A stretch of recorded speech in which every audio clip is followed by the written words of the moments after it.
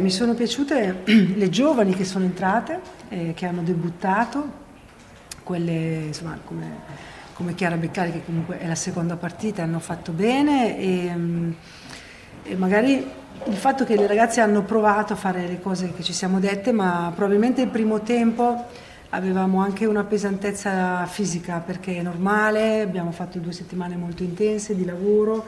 e, e quindi il fatto anche di non essere stato molto fluide nel gioco credo sia, sia dipeso da questo aspetto qua, aspetto fisico e poi magari anche un po' di tensione perché comunque la partita prima di partire per il mondiale il fatto di, mm, di, di, provare a fare le cose, l'aspettativa per andare al mondiale, insomma un, un, po' tutto. Poi nel secondo tempo cose sono andate molto meglio, ma perché probabilmente la squadra si è sciolta, eh, sia da un punto di vista fisico che mentale. E, e cosa non mi è piaciuto è il fatto che dobbiamo sicuramente essere più cattive sotto porta, più determinate, più, più affamate, perché poi quando hai le occasioni le devi le devi concretizzare eh, perché quando saremo al mondiale non ne avremo, non ne avremo tante.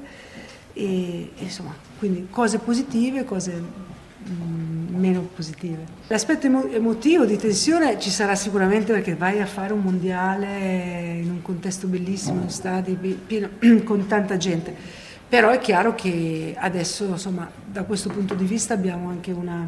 diciamo come gruppo squadra abbiamo anche una maturità diversa perché ci sono giocatrici che hanno fatto la Champion, hanno fatto partite importanti, hanno giocato il mondiale, eccetera,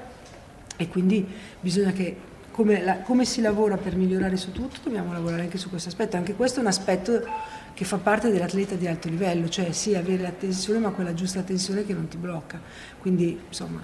credo che ci sarà perché è inevitabile, però credo che insomma sarà una tensione che